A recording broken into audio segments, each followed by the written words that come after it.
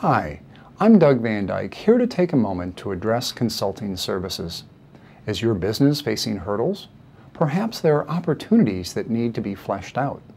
Are you challenged with issues involving people and processes, sales and marketing, growth or divestiture?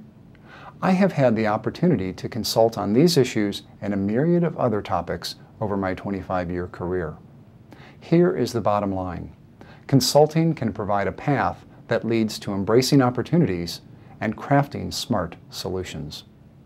I welcome the opportunity to discuss your business. Contact me today at leadershipsimplified.com.